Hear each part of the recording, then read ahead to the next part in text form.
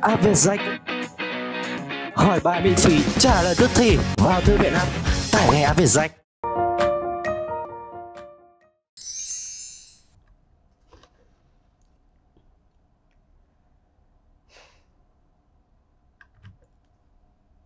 Hello and welcome to Family and Friends to you Xin chào các con, chào mừng các con đến với chuỗi video chữa bài tập trong sách bài tập tiếng Anh Family and Friends lớp 2. Cô là Quỳnh Trang và trong buổi học ngày hôm nay chúng ta sẽ cùng nhau đi làm bài tập và chữa bài trong Unit 1 If it's your mom, Lesson 5. Để mà chúng ta có thể làm bài tập được một cách hiệu quả nhất thì trước hết chúng mình hãy cùng nhau đi ôn tập những phần kiến thức mà chúng ta đã học ở trong Lesson 5, bài số 5, được không nào? Chúng mình cùng ôn tập lại nhé. Các con có nhớ được là cái từ này mình đọc là gì không? Và âm thanh của nó biểu hiện là âm thanh gì? Chúng mình sẽ cùng nhau lắng nghe và bắt trước những gì người ta người ta nói nhé. Các con nhớ nhé là ngay sau khi người ta nói, các con hãy tập nói theo như vậy. Chúng ta bắt đầu nào. Listening 27. Listen and point. Letter P. P.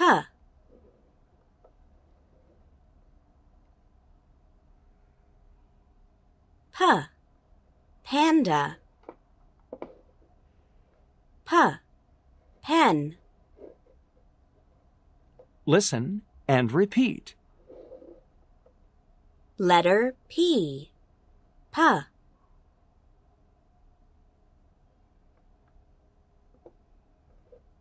P. Panda. P. Pen. Khi các con đã lắng nghe thì phần nào chúng mình đã nhớ lại được rồi, đúng không nào? Nếu trong bảng chữ cái thì đây chúng ta gọi là chữ cái P, hay còn gọi là gì? Letter P, đúng không nào? P. Tuy nhiên âm thanh mà nó đại diện đó là âm P. P. Các con nhớ bật hơi ra nhé. Và âm P này thì có chứa ở trong từ P. Panda. P. Panda. Hoặc P pen. P, pen. Chúng mình hãy ghi nhớ cách viết này, cách đọc này và hình ảnh thể hiện của nó nhé panda panda là gấu trúc, còn pen là cây bút. Các con ơi, chúng mình cùng đọc lại một lần nữa nha. Letter p.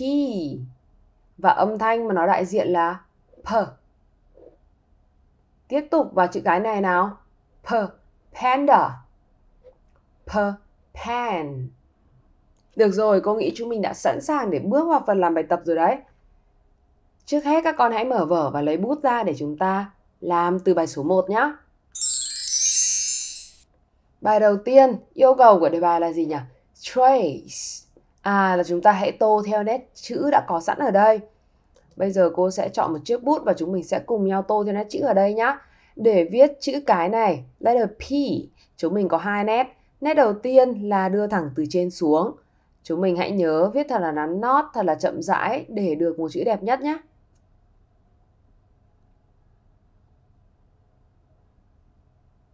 Ok.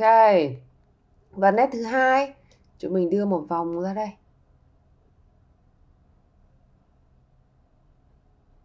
Rồi, vậy là chúng ta đã có letter P. Đây là chữ in hoa, còn bên này, đây là chữ in thường. Chúng mình sẽ cùng với chữ in thường nhé chữ in thường thì cũng có hai nét.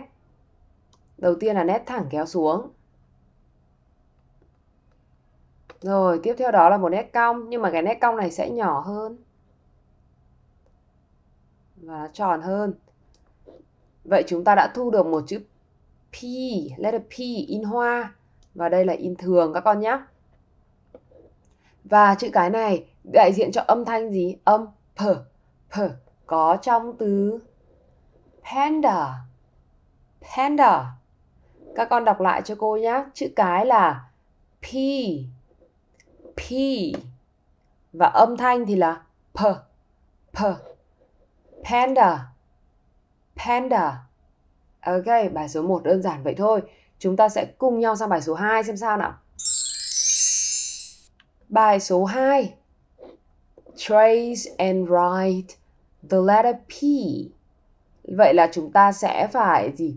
Phải tô lại cái chữ này này. Và khó hơn đó là chúng ta phải tự viết cái chữ này nữa.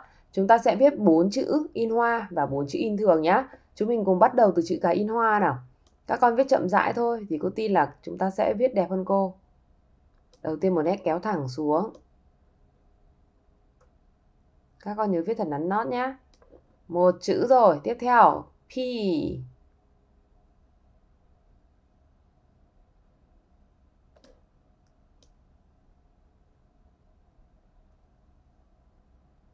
P.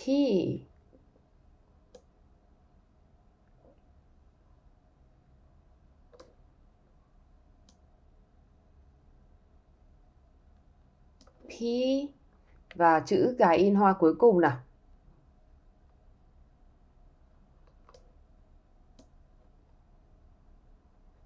P. Tiếp theo chúng ta sẽ chuyển sang viết chữ cái in thường. Khi in thường thì cái phần thẳng này, này chúng ta sẽ hạ xuống dưới hơn. Chúng ta bắt đầu từ đây. Rồi, chúng ta bắt đầu viết chữ P in thường nào. P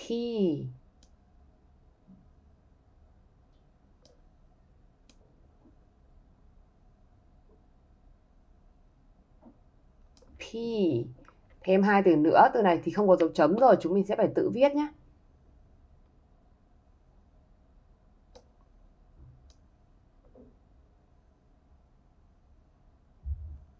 P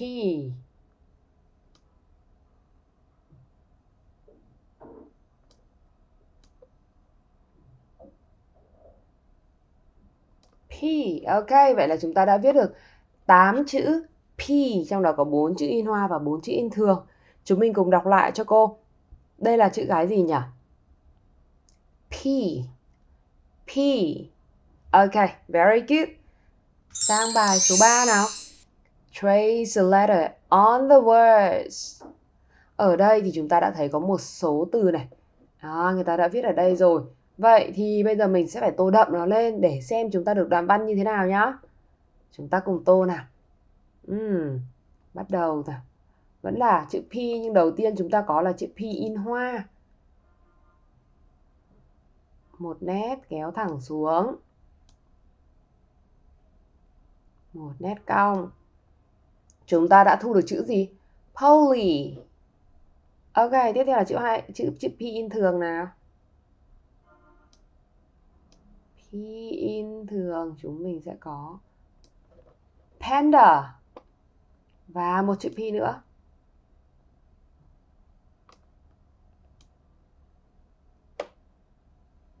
Excellent. Chúng mình đã có thêm chữ pen. Ở đây thì cô đã tô hết tất cả những chữ P rồi. Trong đó có một chữ P này là P in hoa. Và hai chữ cái này là chữ P in thường, đúng không nào? Và cô thu được ba chữ như sau. Với chữ P in hoa thì chúng ta có được tên riêng của bạn gấu này. Tên bạn ấy là Polly. Các con cùng đọc nhé. Polly. Polly. Và Panda. Panda. Pen. Pen. Ok, chúng mình khi đã tô được chữ rồi thì bây giờ chúng mình hãy cùng nhau tập đọc cả câu và cả đoạn văn này nhé.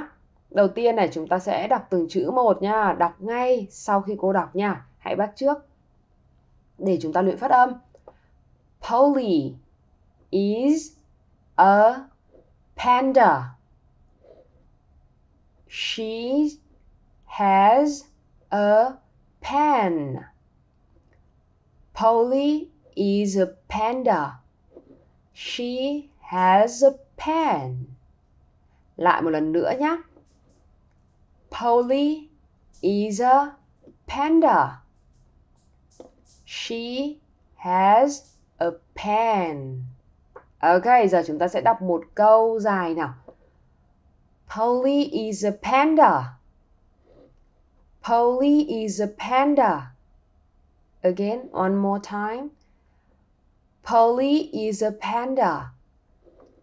She has a pen. She has a pen.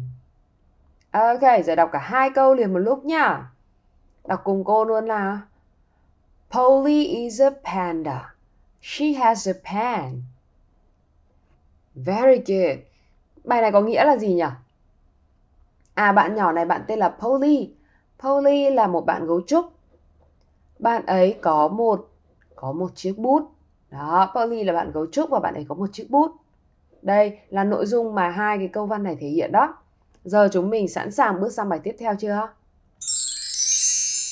Okay, number four. Listen and draw a line. Bài này chúng mình phải lắng nghe, chứ không phải chỉ quan sát hình nữa. Lắng nghe và sau đó chúng ta hãy viết à, nối một đường thẳng từ chữ cái P đến từ phù hợp nhá. Mình phải lắng nghe xem là là âm thanh phát ra là đang ám chỉ từ nào thì sau đó chúng mình sẽ nối đến từ phù hợp được không nào các con lưu ý nhá nhưng mà trước hết các con có cần ôn lại bài không? Đó là trong buổi hôm trước chúng mình đã học những từ nào? Ví dụ như đây từ đầu tiên này buổi hôm trước chúng ta học thì từ này đọc là à, orange orange. Từ này là gì? Vừa học buổi hôm nay xong. Pen pen. And this one panda panda. Bạn ấy đang chỉ vào mũi đấy. Chỉ vào mũi thì là nose. Nose. Tương tự, đây cũng là pen, đúng không? Còn à octopus. Octopus. Đó, chúng mình, nếu mà chúng mình nhớ được những từ này rồi, thì bây giờ chúng ta cùng bắt tay vào làm bài tập thôi. Sẽ rất đơn giản, nhưng các con cần lưu ý lắng nghe thật kỹ nhé và nối chữ cái P đến với những hình ảnh phù hợp. Chúng ta bắt đầu nghe nào. Listening 2. Listen and draw a line.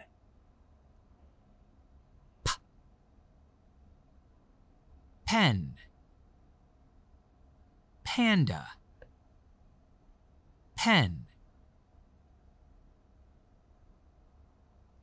Ok, nghe một lần rồi thì không biết các con đã khoanh được chưa, đã nối được chưa? Nếu mà chưa thì chúng ta sẽ cùng nhau nghe lần thứ hai xem sao. Được không nào? Nghe thử lần thứ hai nhé. Lần này thì cô sẽ cho nghe chậm thôi. Nào, chúng ta cùng lắng nghe nào. Listening 2. Listen and draw a line.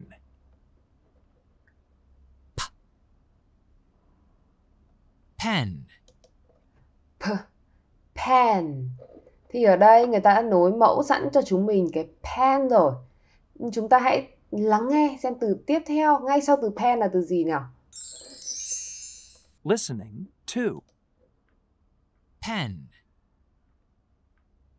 panda Panda, đúng không nào? Panda thì chúng ta sẽ phải nối vào vào đây để cô xem nào. Draw line. Đây, chúng mình sẽ nối tiếp vào đây. Đó. Panda. Thế tiếp theo nào, tiếp theo thì nối vào đâu đây? Chúng mình hãy cùng lắng nghe xem từ thứ ba nhé. Từ thứ ba là gì? pen À, lại là pen. Pen thì bây giờ chúng mình nối vào đâu? Pen, where is the pen? Pen, octopus. Vậy chúng ta sẽ nối vào pen. Được không nào? Ừ, chính xác rồi. Chúng mình hãy cùng cô đọc lại một lần nữa những từ mà có chứa âm p mà chúng ta vừa nối được nhé. Đầu tiên nào, mỗi từ chúng ta sẽ đọc hai lần. Các con hãy lưu ý có thể đọc cùng cô luôn hoặc là đọc ngay sau khi cô đọc cũng được. Bắt đầu nào. P P Pen Pen Panda Panda Pen Pen Ngoài ra thì cô cũng muốn các con ôn tập lại cho cô những từ mà chúng mình không nối. Đây là từ của bài học hôm trước đấy. O, Orange Orange N, nose nose o, octopus octopus các con ơi, vậy là hôm nay chúng mình đã học xong bài này rồi. Cô mong là các con đã nhớ được. Đây là gì? Đây là chữ cái P. Nếu trong bảng chữ cái chúng ta sẽ gọi là P. Letter P. Nhưng nó sẽ đại diện cho âm thanh là âm thanh P. P.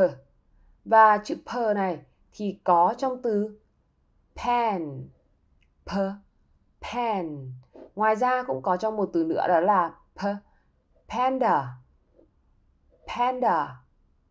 Các con hãy lưu ý mình hãy uh, nhớ cách viết này, cách phát âm này và và lắng nghe xem là những cái chữ cái này thì nó được đọc như thế nào các con nhé. Nếu mà bạn nào mà chưa nhớ thì chúng ta có thể xem lại từ đầu video này. Chúng mình hãy cùng nhau luyện tập từ đầu đến cuối thì cô tin là chúng ta sẽ nắm bài rất là chắc đấy. Còn bây giờ thì buổi học của chúng ta kết thúc tại đây thôi.